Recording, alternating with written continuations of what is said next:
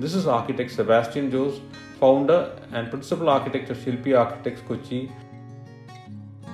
I believe that a home is a reflection of its users' collective personalities, ambitions, and the unique topographical, climatic, and sensory features of the site.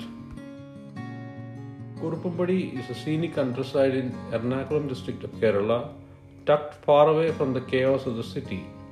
The residence belongs to a vibrant family who aspired a house that is home not only to them but also to their friends and family.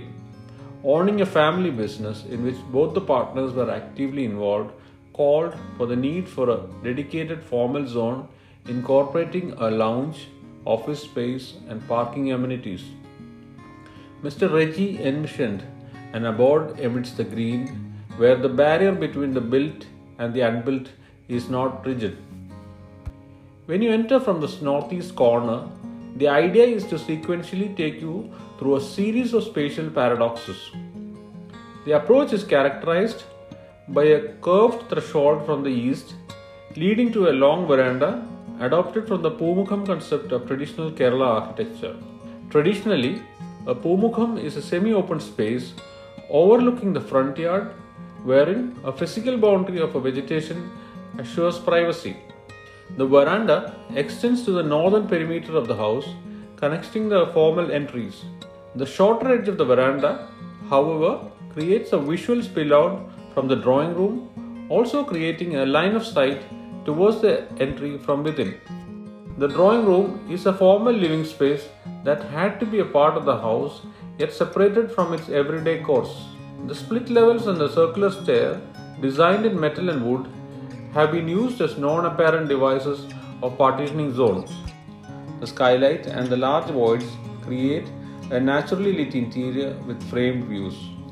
The kitchen and utility zone occupies the east, while the western periphery is solely dedicated for the bedrooms. The private spaces form a secluded cluster towards an end of the site with an exclusive veranda or balcony for personal space. The large overhang towards the south cuts off the scorching sun, securing the transparent skin from transferring heat inside. The swimming pool, gym, and play areas are zoned towards the south of the ground floor and east of the first floor. The passage acts as a floating bridge, visually accessible to the ground floor and physically connecting the four bedrooms, lift, and home theatre. The home theatre opens to a terrace garden, which is a part of the front facade, adding greenery to the earthy color palette. The architecture style resonates with the tropical modern architecture with a simple L shaped sloping roof, apt for the monsoon climate,